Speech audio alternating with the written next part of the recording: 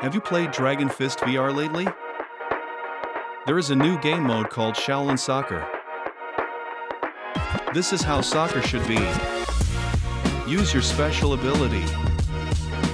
Play dirty. Knock out your opponent. Use your special to stop a goal. Or just knock out the other team. The first team to five points wins. Do you have what it takes? Shaolin Soccer is live. Try it out now.